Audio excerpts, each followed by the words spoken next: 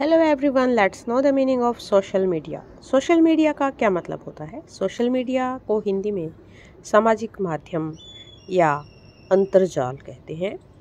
अंतर्जाल social media के आशय, पारस्परिक संबंध के लिए अंतर्जाल सोशल मीडिया यानी जिस मीडिया के थ्रू जिस माध्यम के थ्रू बहुत सारे लोग जुड़ते हैं, एक दूसरे के साथ इंटरेक्ट करते हैं, उसे हम सोशल मीडिया कहते हैं। या अंतर्जाल कहते हैं। आज की इस वीडियो में बस इतना ही। Thank you for watching